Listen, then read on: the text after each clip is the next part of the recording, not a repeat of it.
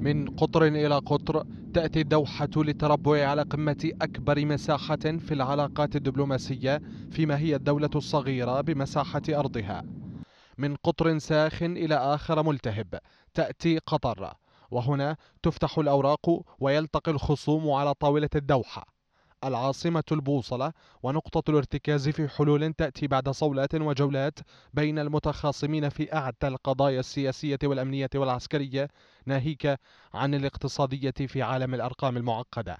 اليوم لا ينكر العدو قبل الصديق لسياسة الدولة بحنكة أميرها تميم بن حمد آل ثاني. ورغم أن في التفاصيل تخرج بعض الأقلام لتكتب أن هذا مدح زائد فيما هي الحقيقة المصدقة بالأقوال والأفعال ويوثقها التاريخ تباعا. صنعة السياسة بخبرة المكوك القطري الدبلوماسي بقيادة وزير خارجيتها الذي يربط الشرق بالغرب فتجد قطر بدبلوماسيتها تحلق في أجواء المصالحات لا المناكفات. وبرؤى واضحة المعالم. يخطو وزير الخارجية القطري محمد بن عبد الرحمن آل ثاني صوب الشفافية المطلقة حيث لا توجد مشاهد الضباب. ولو نظرت إلى أبرز عشرة ملفات حلت بأصابع قطرية يحركها وزير الخارجية كلبنان واليمن والعراق ودارفور وأفغانستان وبين فتح وحماس والعلاقات بين السودان وتشاد وبين فرنسا وسوريا وإطلاق سراح 13 راهبة أرثوذكسية في سوريا مقابل إطلاق سراح 153 معتقلة سورية من سجون النظام السوري.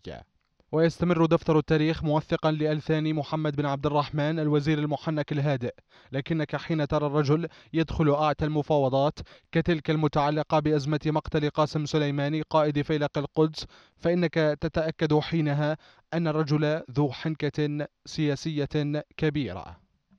العراق وليبيا والسودان سوريا ولبنان وفلسطين. تضرب مدارس السياسة اليوم في قطر المثال الأول كقدوة في باعها السياسي الحافل.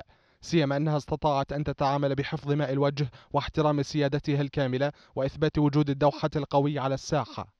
وما الخلافات الأصعب في العالم بين واشنطن وطهران إلا خير دليل على ذكاء وقدرة قطر في صناعة المفاوضات والوصول إلى الحلول.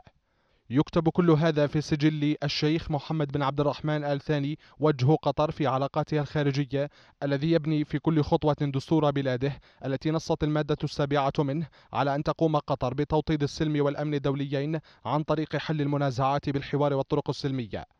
وها هو الوزير الذي يدخل المهمات الصعبة فيخرج من حقول ألغام السياسة ونزاعاتها بحلول يقدمها لأي طرف مع آخر. إذا في الذكاء السياسي تضرب جنيف مثلا في البيت الكبير لقادة العالم حيث تحاك التفاصيل وتحل النزاعات. ومن الغرب والعالم أجمع خرجت ثيمة جنيف الشرق نعتا لقطر وأميرها. فكانت السياسة الحكيمة في أن تتمم قطر على كل طاولة نزاعات شائكة وكأن لقطر من اسم تميمها نصيب.